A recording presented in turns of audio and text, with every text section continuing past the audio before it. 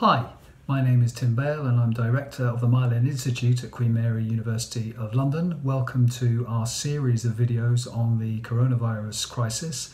Today we have Dr. Jonathan Kennedy from the Blizard Institute here at Queen Mary who's going to talk about what we can learn from other countries and in particular China and Italy.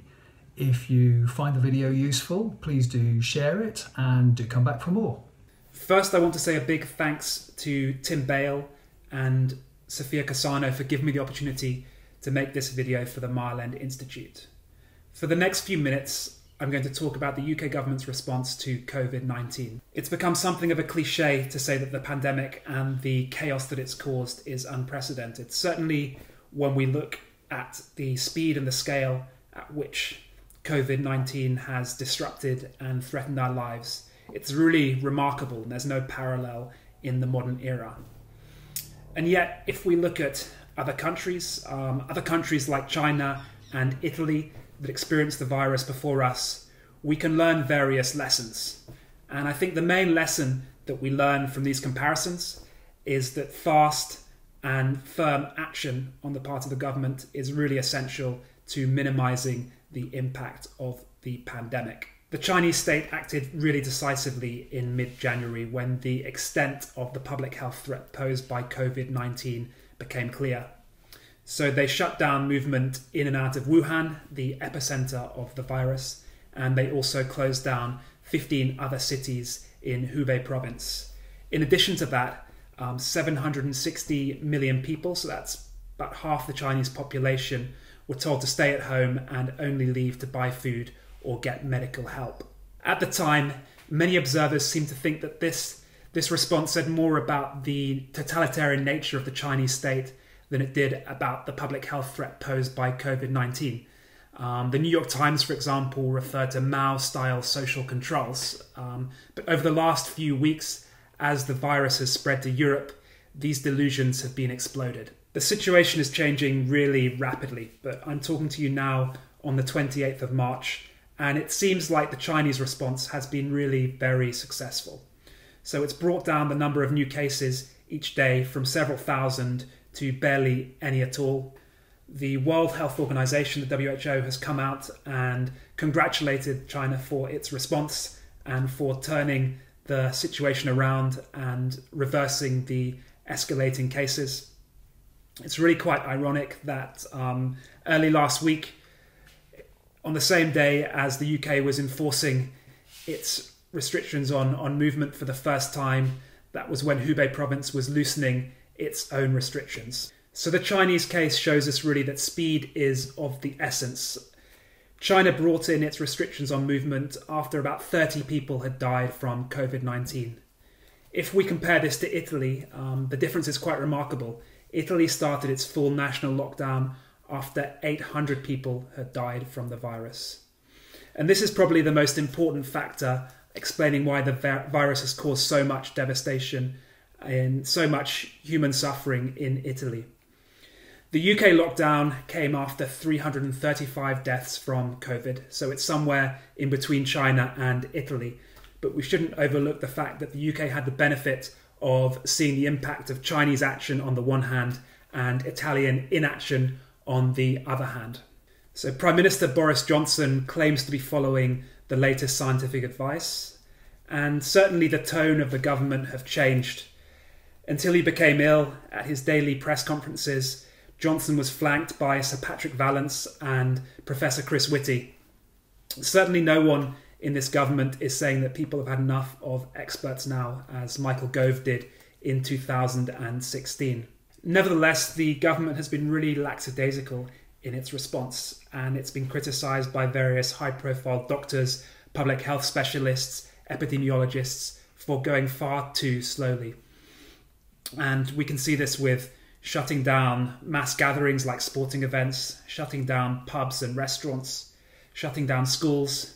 We can also see it when they, first of all, ask people to minimize socializing and stay at home um, rather than ordering them to do so. And we, it's still apparent that the, the restrictions in the UK are much less stringent than most of the rest of Europe and, and certainly China. It's interesting to consider why when the government claim to be following scientific advice is their response so slow? In order to understand this, we have to look at the way in which the government interprets scientific advice through their own ideological prism. There's been a few quotes that have come from Boris Johnson and his ministers over the last few weeks that have been really quite revealing in this respect.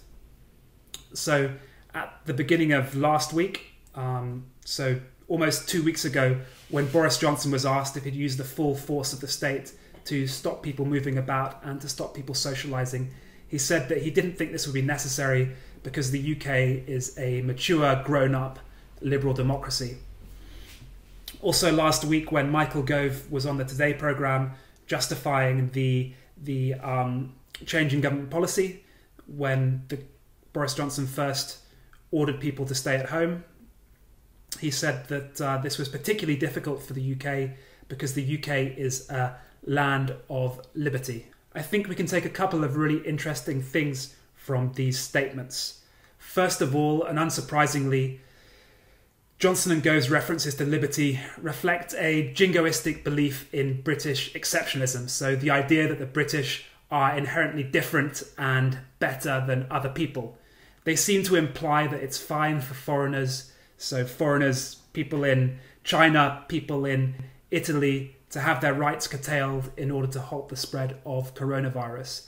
But they seem to suggest that such such interventions are really hard for freeborn Englishmen and freeborn English women to take to tolerate.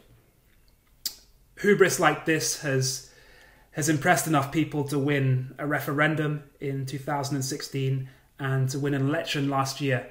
But unfortunately, viruses don't pay heed to such delusions.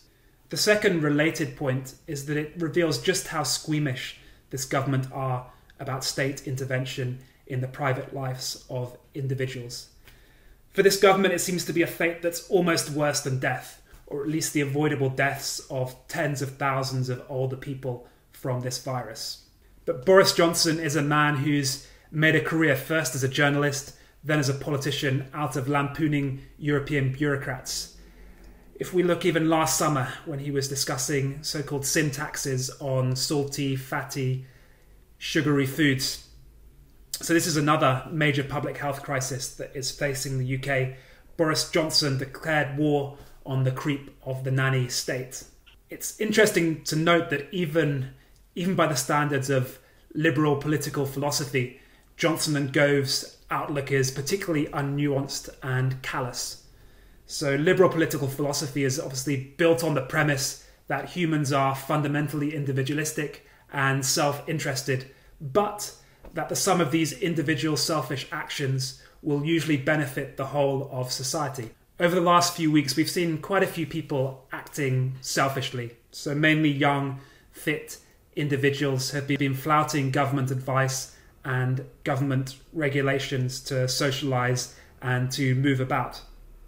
And this is interesting because although they're very capable of passing on the virus, they're much less likely to become seriously ill and die from it. So, far from having a positive effect, the sum of these individual selfish actions have actually hastened the spread of the disease and increased the possibility that the NHS will become overwhelmed with, with cases. In such situations, more nuanced, more compassionate liberal thinkers have acknowledged that state intervention is justified Let's take John Stuart Mills, for example. In On Liberty, he, he said that the only purpose for which power can be rightfully exercised over any member of a civilized community against his will is to prevent harm to others. So this, this situation clearly fits the bill.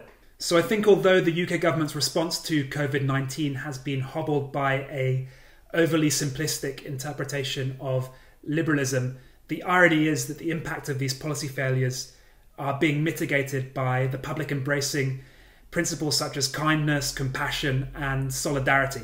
It's interesting to note, however, that the pandemic has really reiterated a major flaw in liberal assumptions.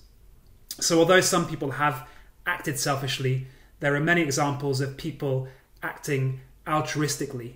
Um, health workers, carers, neighbours, shop workers, and many others have worked really tirelessly and selfishly to, to help others often putting themselves at risk by doing so. And we can look at the half a million volunteers who signed up to support the NHS last week as an example of this, or we can look at the two and a half thousand retired doctors, six and a half thousand retired nurses, many of whom will have pretty generous pensions, who have agreed to return to work to, to help the NHS deal with this crisis. There can be no doubt that the weeks and the months ahead are going to bring challenges. As I've discussed over the last few minutes, the government hasn't done as much as they could have done to mitigate the impact of the pandemic on the British population. Nevertheless, these examples of people acting through solidarity out of kindness and compassion give us some reasons to be positive and optimistic. Thank you for taking the time to listen to what I have to say about the government response to COVID. Uh, goodbye.